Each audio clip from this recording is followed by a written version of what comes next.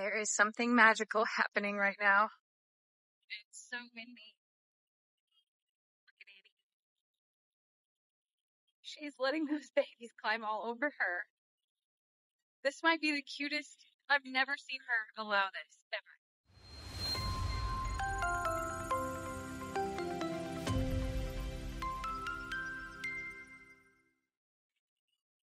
don't want to get too close because I don't want to disrupt her, but oh my gosh, Oki's coming over.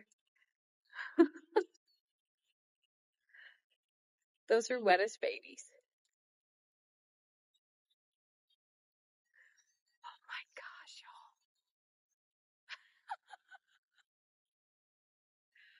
This is the sweetest thing. Oh my gosh. She's getting a little back massage. Ernie's all like, that's usually my job actually to massage her back. And oh no, here comes jealousy. Oh my god, y'all, this is the sweetest.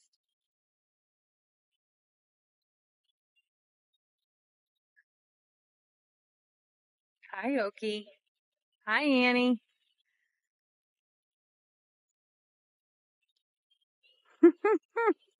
I'm trying to block the wind to reduce the noise out here, but this is so sweet.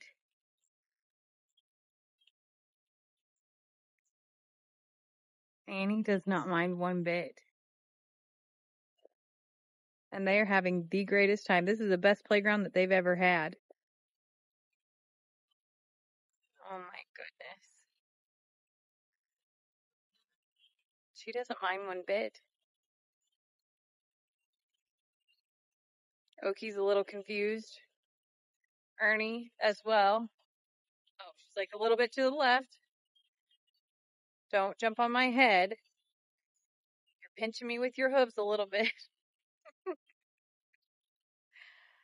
oh my gosh. Look at him.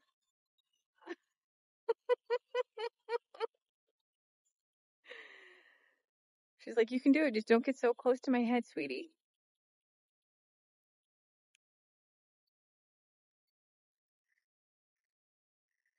There is so much magic that happens right here with these animals.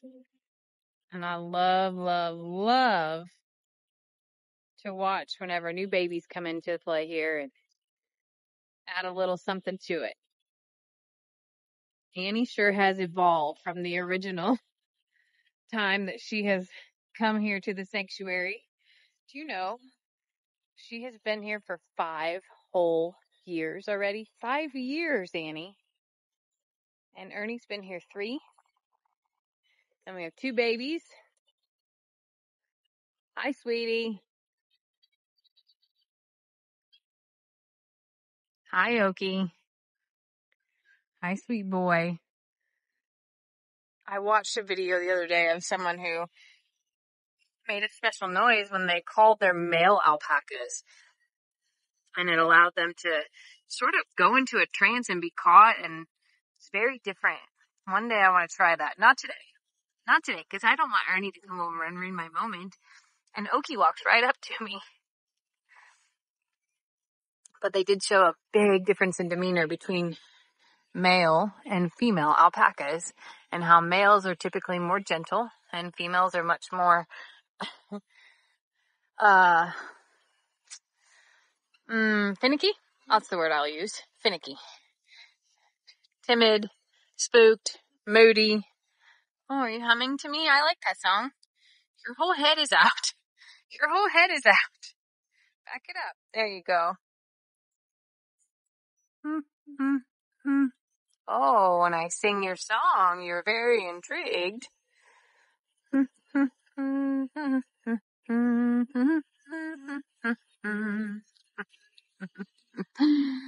Okay, you're a blessing.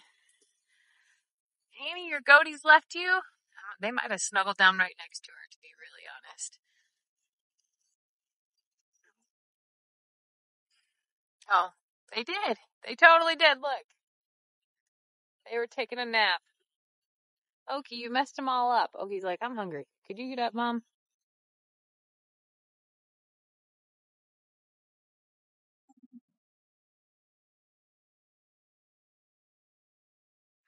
Oh, I love them so much. Okie, what are you doing to your mama? He's like, I'm trying to eat, but she needs to stand still. That was a really, really sweet moment. Those little bitty babies.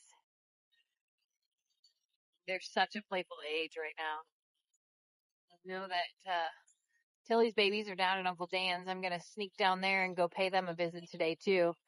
Hi, Ernest. We see that smile happening there. We have alpaca shearing that's going to happen here in, a, in about a month. It's a really strange weather pattern right now. We're 85 degrees here in February.